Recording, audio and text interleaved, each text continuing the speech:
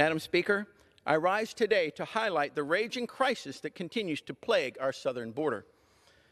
Since President Biden stepped foot into the Oval Office, his failed policies and radical open border agenda have provoked an unprecedented, unprecedented illegal alien invasion at our southern border. And while Vice President Kamala Harris, our so called border czar, comically claims that the southern border is secure, the American people know good and well that this is a blatant falsehood. But unlike our delusional border czar, the numbers don't lie. Nearly 5 million illegal aliens have crossed the southern border since Biden and Harris took office. To make matters worse, 66 individuals on the terrorist screening database have been stopped trying to illegal, illegally enter our country. This is more than double the last five years combined. Double the last five years combined.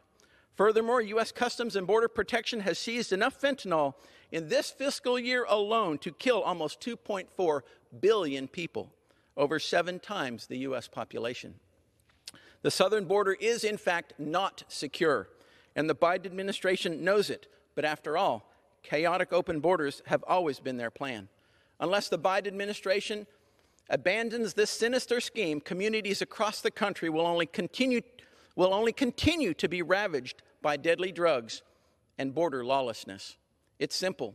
Americans deserve border security, not an administration actively manufacturing mayhem, advocating for mass amnesty, and emboldening dangerous cartels. President Biden must immediately about face on his open border agenda, commit to securing our southern border, and finally put American people first.